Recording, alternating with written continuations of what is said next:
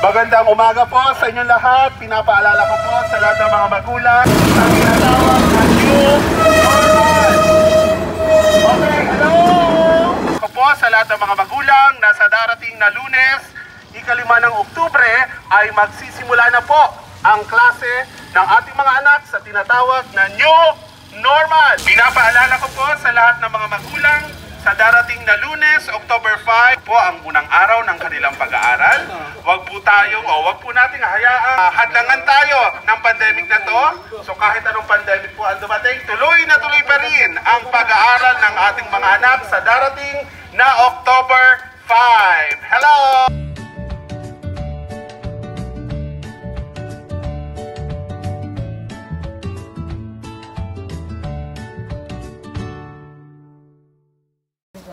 Ayan, inaayos nila ang aking sasakyan.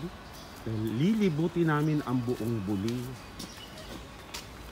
para i-inform ang mga parents sa nalalapit na klase sa October 5.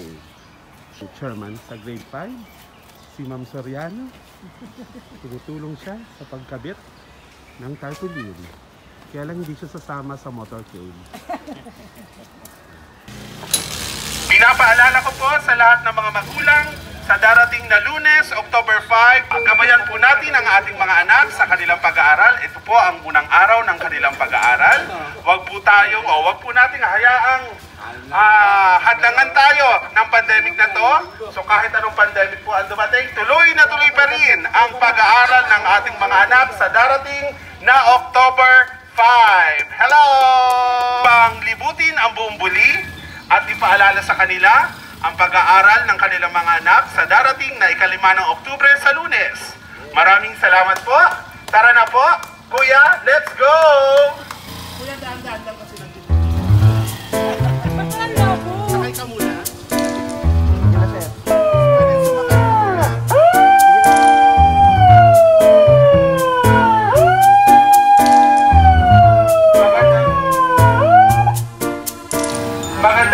Po sa inyo lahat. Ipinaalala, pinapaalala po namin na sa darating na ikalima ng Oktubre sa lunes ay magsisimula na po ang unang araw ng pag-aaral ng ating mga anak sa tinatawag niya New Normal.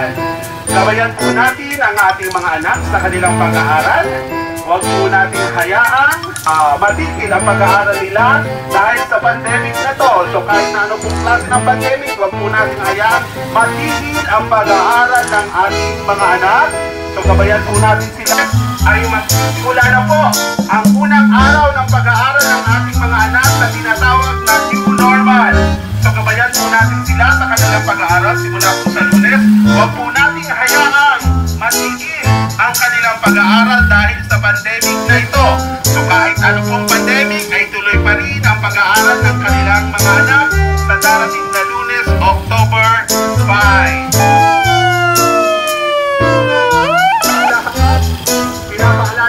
sa lahat ng mga magulang na sa darating na lunes, October 5, ay magsisimula na po ang klase ng ating mga anak.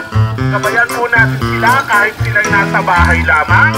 Huwag po natin hayaang matigil ang pag-aaral ng ating mga anak dahil sa pandemic na ito. So sa darating pong lunes, ang unang araw ng kanilang klase sa New Normal. Mga magulang na sa darating na lunes, ikalima ng Oktubre, ay magsisimula na po ang klase ng ating mga anak sa tinatawag na New Normal. So wag po nating hayaang matigil ang pag-aaral ng ating mga anak dahil sa pandemic na to, tuloy na tuloy po ang kanilang pag-aaral sa darating na lunes, ikalima ng Oktubre.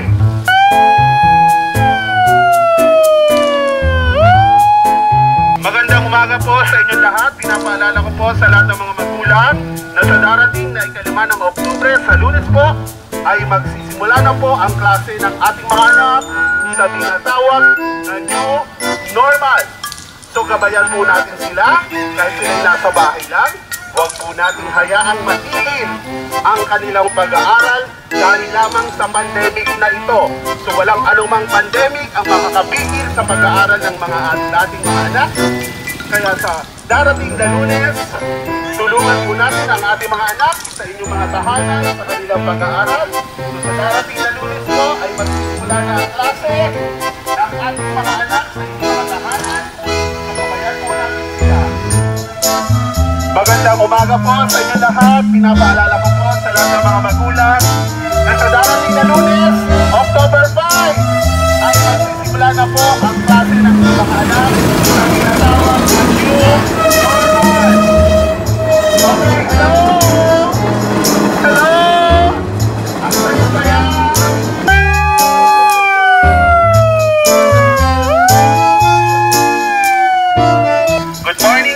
lahat. Isang paalala po sa darating na lunes ay magsisimula na po ang pag-aaral ng ating mga anak sa tinatawag na new normal.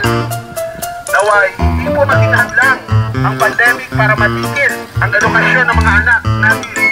So, Huwag po natin hahayaang matigil ito. Tuloy pa rin po ang pag-aaral, tuloy pa rin ang buhay kahit na anumang pandemic ang dumating. Kaya po sa darating na lunes, ikalima ng Oktubre, ay magsisimula na po ang edukasyon ng ating mga anak sa tinatawag na New Normal.